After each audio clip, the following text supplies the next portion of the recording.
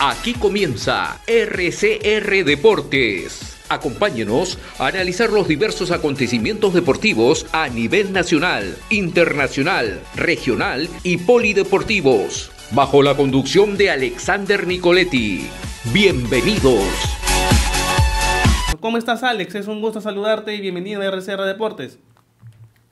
Hola, ¿qué tal, eh, compañeros? Muy buenas tardes. Qué gusto saludarlos a ustedes y bueno, un abrazo muy especial para todos sus eh, televidentes que están conectados en estos momentos eh, con ustedes. Gracias a ti, Alex, por haber aceptado esta invitación. Agradecido contigo. Y, Alex, ¿qué impresiones te da esta convocatoria ya de Néstor Lorenzo? ¿Crees que eh, es una buena convocatoria? ¿Estás satisfecho con la convocatoria que ha hecho Néstor Lorenzo para justamente estos partidos amistosos que va a tener la selección? Bueno, en términos generales me parece que es una buena convocatoria la de la selección eh, colombiana de fútbol por parte del técnico Néstor Lorenzo. Hay renovación, hay jugadores jóvenes, hay jugadores que están despuntando en eh, equipos, sobre todo en el viejo continente, como el caso de Alexis Pérez, es una de las, de las cartas nuevas que tiene el equipo nariñense. También eh, Carlos Cuesta, podemos hacer eh, referencia a Daniel Muñoz, eh, otro de los jugadores nuevos, el caso de David Machado, un hombre que juega en el fútbol eh, francés. Y bueno, es importante hacer esa mezcla entre jugadores jóvenes y jugadores de experiencia, porque el técnico Néstor Lorenzo nuevamente ha convocado a los jugadores que desafortunadamente vienen sin ritmo de competencia con sus equipos. Hablo de James Rodríguez, de Radamel Falcao García, pero que en la interna del grupo como tal son jugadores importantes porque pueden eh, arropar de una muy buena manera a los jugadores eh, jóvenes. Así que me parece supremamente interesante esta convocatoria para los Juegos el próximo 24 eh, de marzo ante la selección de Corea y el 28 ante Japón. Así que, bueno, el técnico ha decidido y eso, bueno, ha replicado muchísimo en diferentes eh, colegas, eh, sobre todo en el interior del país, con respecto a Jaime Rodríguez y a Ramel Falcao García. Pero en mi concepto me parecen dos jugadores eh, importantes y que ojalá le aporten cosas positivas a nuestra selección. Alex, tú has dicho algo muy importante y es la, las nuevas caras, ¿no? la juventud que se está viendo hoy en día en Colombia. Eso quiere decir, Alex, que Néstor Lorenzo está trabajando mucho en lo que es el cambio eh, regeneracional, el cambio de caras para también que la selección tenga un poco más de aire en ese nuevo proceso que se avecina en el mes de septiembre, ¿no? Porque va a ser un proceso distinto, van a haber más plazas para llegar a, disputar los cupos para el Mundial.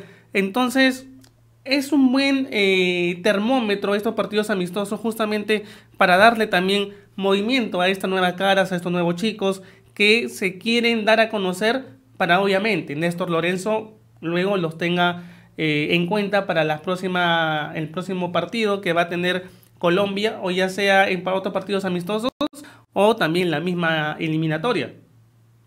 Sí, es importante mm, refrescar, ¿no? Prácticamente esta nómina de la selección colombiana de fútbol para las diferentes eh, participaciones que se vienen, por ejemplo, eliminatorias, Copas América. Sabemos que hay jugadores referentes como Davinson Sánchez, como los que mencionábamos anteriormente, sobre todo el caso de Radamel Falcao García, que creería que para el próximo Mundial no sé si le vaya a alcanzar por el tema de la edad, por el tema de la edad, pero hasta una Copa América podría ser un jugador eh, interesante para nuestra selección colombiana de fútbol. El resto, si es eh, jugadores, por ejemplo, de 24 o 25 años de edad. Entre ellos tenemos el caso de Lerma, también de Carbonero, del mismo Jorge Carrascal, hombre que eh, hubo un pasaje interesante de este jugador en el equipo de River Plate. Es un volante creativo, es un volante enganche. Así que refrescar, refrescar eh, como tal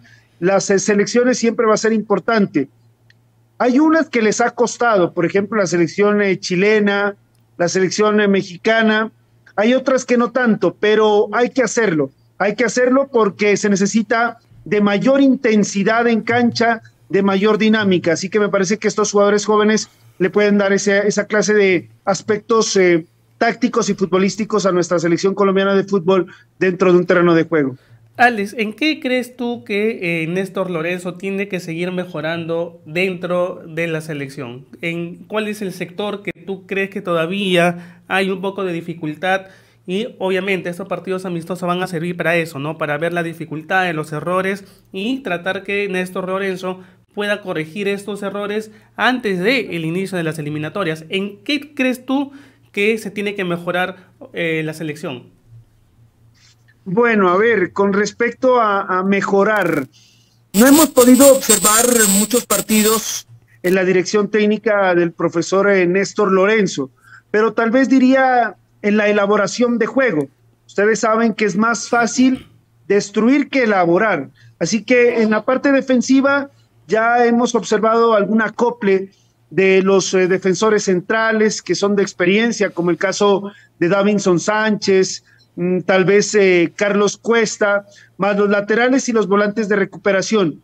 Pero otra cosa es la propuesta, así que hay que seguir mejorando en esa situación, las interacciones en cancha, la elaboración de juego, que aparezca como tal eh, James Rodríguez como inicialista y si se tiene este jugador en cancha, aprovecharlo de la mejor manera para que él sea el eje conductor de nuestra selección tricolor, o el mismo Carrascal o, o Quintero, ¿por qué no? Entonces, mejorar ese aspecto, ¿no? La elaboración de juego y que prácticamente sea fluido eh, el juego del equipo colombiano en cancha. Así que ese sería uno de los eh, aspectos para seguir eh, trabajando en estos momentos. Claro que sí, y eso es importante, no tenerlo en cuenta y ojalá que Nelson Lorenzo lo pueda también tener en cuenta, ¿no? Y poder ir mejorando tras partido tras partido. Ahora, Alex, aparte de todo lo que estamos hablando de, de Colombia, y le he preguntado a otros, a otros colegas, te quiero hacer esta misma consulta. ¿Cómo ves tú el inicio de las eliminatorias? ¿Tú crees que va a ser mayor eh, competitiva que el sistema anterior en el que nosotros estábamos jugando, en el que Sudamérica jugaba? ¿O se va a perder un poco la competitividad para este caso, ¿no? Porque son seis cupos directos y uno de repechaje y obviamente hay más posibilidad de que más selecciones puedan llegar al Mundial. Pero ¿crees que esto le va a bajar la calidad o al contrario le va a aumentar la calidad de juego y de la competencia? La calidad de juego va a bajar, obviamente, porque hay que decir que antes era más peleado, porque, bueno, hay que dejar a un lado eh, a selecciones como Argentina y la selección brasileña, que están en otro escalón de las diferentes selecciones en nuestro continente. Pero de ahí para allá, por ejemplo, al, Mundial de, Qatar. Estaba peleando Uruguay, estaba peleando Chile, eh, Paraguay siempre ha peleado ahí, Colombia, Perú, pero mire que eso eh, hizo que como tal nuestras eliminatorias sudamericanas sean las más complejas, las más difíciles de afrontar, y eso en conceptos de diferentes técnicos y también de jugadores que han sido referentes en nuestro continente. Ahora hay eh, otros cupos más. Y entonces ahí es donde hay algunas elecciones que se van a relajar un poco. Eh, obviamente eh, Brasil y Argentina van a estar por encima, pero las otras elecciones se van a relajar un poco porque prácticamente van a estar peleando el cupo, por ejemplo, Perú, Chile, Paraguay, Uruguay y Colombia. Y Bolivia, Venezuela, pues como intentar querer entrar, ¿no? Y no sabemos cómo le vaya a ir a, a la selección chilena también. Entonces, pues eh, hay que decir que el nivel, en mi, en, el, en mi concepto, sí va a bajar un poco y por supuesto van a haber muchas eh, selecciones que se van a, a, relajar en ese camino como tal de las eliminatorias hacia el Mundial, que se va a disputar en tres países, en México, en Estados Unidos y en Canadá. Y hay que hacer una referencia también. El nivel en el Mundial también va a ser bajísimo. Yo diría, y eso lo estábamos comentando con algunos colegas, con los que estoy en un medio también de, televisión y de igual manera radial, que desafortunadamente vamos a poder observar un buen mundial el próximo, prácticamente desde los octavos de final hacia abajo, cuartos, por supuesto, la semifinal y la gran final, pero sí pierde la calidad como tal en mi concepto. Bien, Alex, eh, ha sido como siempre un gusto poder estar contigo aquí en el programa en RCR Deportes. Agradecerte por tu tiempo, ¿no? Por haber hablado un poco, ¿no? Acerca de la actualidad de la selección colombiana y cuáles son las expectativas, ¿no? De parte de ustedes en estos dos primeros partidos amistosos que va a tener de este año, al menos en el mes de marzo, en este mes ante Corea y ante Japón, que son dos selecciones también complicadas, ¿no? Dos selecciones complicadas y ojalá ahí también Néstor Lorenzo Alex pueda trabajar mucho el tema de los errores para irlo fortaleciendo y que en las eliminatorias no les pase factura, ¿no? Porque puntos perdidos en eliminatorias puede ser puntos que te dejen fuera al final del objetivo de llegar al Mundial.